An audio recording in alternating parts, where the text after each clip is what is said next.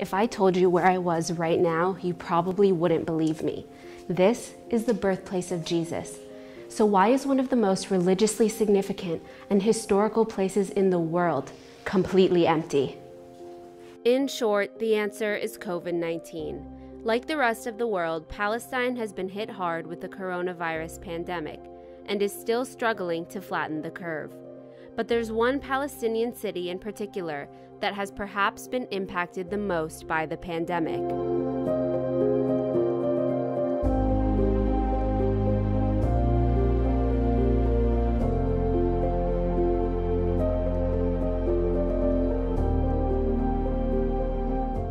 I'm walking in the middle of the old city of Bethlehem, just steps away from the Church of Nativity. At any given time of year, these streets would be filled with tourists from all over the world, visiting religious sites and buying tokens of the Holy Land to take home with them. But now, the shops have been closed and the streets are empty, and the people of Bethlehem have been wondering if life here will ever return back to normal.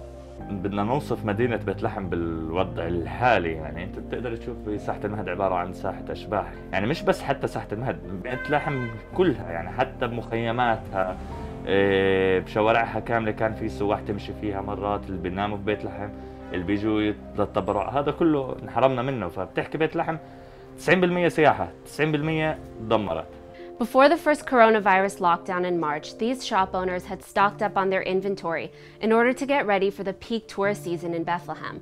But their souvenirs never got sold, and since then, they've been sitting on these shelves collecting dust. كنا متوقعين بحكي لك لا أنا ما كنت متوقع يعني كنت متوقع شهر شهرين ذاتس ات وخلص بس إحنا عمالنا بنشوف هينا الشهر السادس زي ما حكيتي لسه بيت لحم مسكره ولسه ما بنعرف يعني حياتي اقتصاديا ونفسيا اختلفت كليا للاسف يعني أنا بحكي لك أنا رجعت تقريبا 20 سنه لورا عيلتي اللي إحنا بنشتغل بالصنعه وما بنعرف إمتى بنرجع Estimates indicate that Bethlehem attracts anywhere between 1 to 3 million tourists each year, with a spike in recent years of political and solidarity tours on top of religious pilgrimages.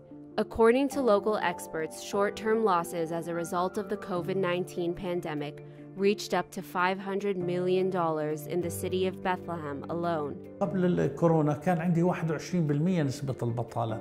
فهي عندي زادت كمان نسبة البطالة نتيجة للتوقف فأصبح عندي اليوم يعني مضاعفة البطالة 40 إلى 42% فنسبة السكان العاطلين عن العمل كبيرة جدا أصبحت نتيجة للكورونا. ومش بس الحين عاطل عن العمل راح يبقى لفترة طويلة عاطل عن العمل في تقديري لأنه إحنا ما شو وقت بدها تنتهي الكورونا On top of fighting a second wave of the coronavirus that has resulted in close to 50,000 cases of the virus in the occupied Palestinian territory, the Palestinian Authority has been caught in its own financial and political crisis and has offered little to nothing to Palestinians in the West Bank in terms of financial and humanitarian relief.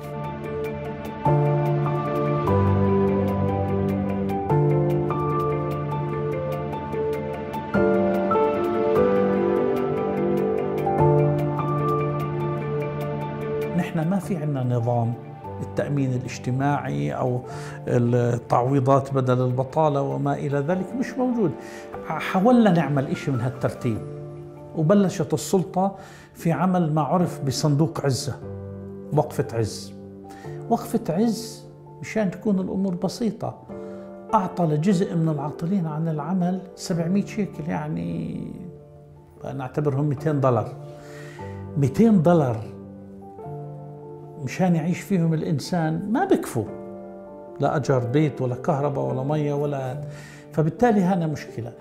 أنا مش متشائم بس هذه حقيقة. حقيقة الناس فقدت دخلها فقدت عملها فقدنا السيولة. كيف يمكن أن نعيش؟ لكن إذا استمرينا حتى نهاية هذه السنة في موجة قوية من الكورونا ونحن لا يتوفر لدينا إمكانيات أنا بعتقد راح يكون لها آثار مدمرة على المجتمع الفلسطيني In just a few months, the city of Bethlehem will adorn its streets and holy places with bright lights and festive decorations for the Christmas holidays, a time when the city would typically be flooded from tourists from around the world. This year, however, things are expected to be a little different. ان شاء الله بس تفتح الحدود إحنا بنستنى فيهم في مدينه بيت لحم مدينه السلام افتقدتهم بشكل كبير لأنه كانوا يعبوا كل شوارع مدينه بيت لحم مش بس اقتصاديا ماديا حلو كمان إنه نشوف الناس عم بتزورنا. طبعا المادي هذا على جنب وحيوية مدينة بيت لحم. إحنا بحاجتها لأنه جزء كبير من حيوية بيت لحم انطفى. يعني مثل الشمعة انطفت ببيت لحم.